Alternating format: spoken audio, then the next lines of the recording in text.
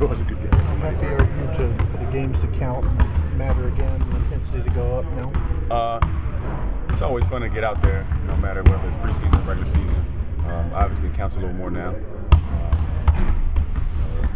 teams will do different things versus, and we'll do different things versus them. So uh, it'll be a good experience, uh, especially early on for, for, for, the young guys to be in uh, different roles. Some of them will have more a some of them will have maybe less, but to um, you know really just get out there and have an opportunity to play really counts. Some of the guys were talking to Victor the other night saying, okay, Ricky, the intensity's going up now. You tried to tell him that you know, it's a different ballgame? No, I haven't told him that, but um, you'll see. I mean, um, teams start to key on you and, and know your tendencies, and uh, they don't want to show you everything in the preseason. Just like we didn't show it uh, too much in the preseason. Uh, teams don't show too much their teams other than their base defense and their base offense. So, uh, you know, he's learning and, and, he's a smart kid and wants to be good, so he'll figure it out. You sat out the uh, final three games not because you were injured, just because of, of rest and some other guys time to play. Are you? Do you have any rust that needs to be knocked off, or are you ready to? Do I have any rust? Yeah. I don't think so. In other words, I didn't. I didn't phrase my I question.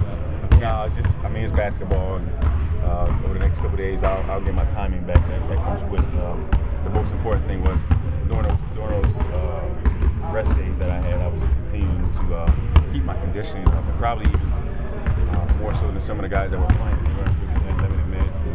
I was able to do some things, um, you know, off the court in terms of my conditioning and my strength training uh, to, to, help out a little better.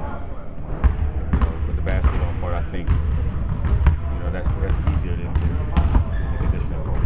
On Tuesday, you'll be starting your, your 10th season in the NBA. Is that is it surreal to think back and this will be 10 years already? It's crazy. You got a lot of gray hair too.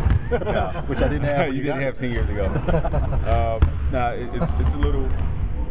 It's a blessing, man. You know, to be able to um, to do the things I've done so far in my career, and, and being a great organization, and uh, being embraced by the city of Orlando and the, and the fans, and uh, even the media. I mean, you guys have been great to me. Uh, hopefully, we can continue to uh, to work together for the next X amount of years, and, and uh, we all see this thing turn around.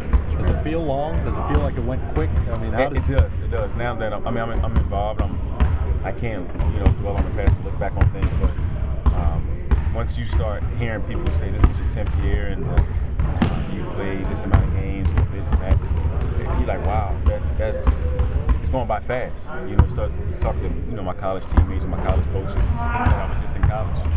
Aaron was just saying, you know, he understands where this rebuilding process is, but he's tried to preach to the guys. He expects progress every day and to make steps. And losing can't ever be accepted. No. Is that kind of a message that you? It's definitely it's definitely a great message that, that he delivers. We, we all try to deliver it as veterans. Uh, try to try to install and instill some of the things that we know um, in terms of how to win and how to be professional to some of the younger guys.